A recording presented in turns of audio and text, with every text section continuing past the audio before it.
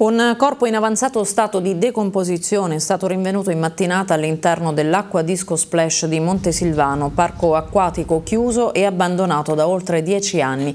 Il cadavere, secondo le prime informazioni, è stato rinvenuto in uno dei locali della struttura. Sul posto, dopo la segnalazione, sono intervenuti i carabinieri, i vigili del fuoco e il medico legale.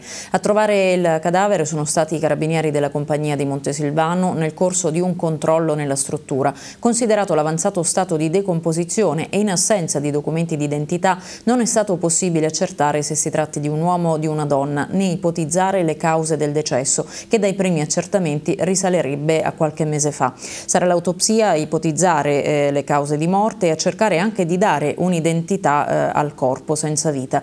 Le condizioni dell'acqua disco splash fanno discutere da tempo. La struttura, spesso usata come rifugio per disperati, viene segnalata come una discarica a cielo aperto. A maggio scorso il sindaco di Montesilvano Milano, Ottavio De Martinis, aveva anche firmato un'ordinanza che imponeva ai proprietari di provvedere alla rapida rimozione dei rifiuti e mettere in sicurezza i varchi di accesso della struttura, che negli anni 90 fu un vero e proprio tempio del divertimento.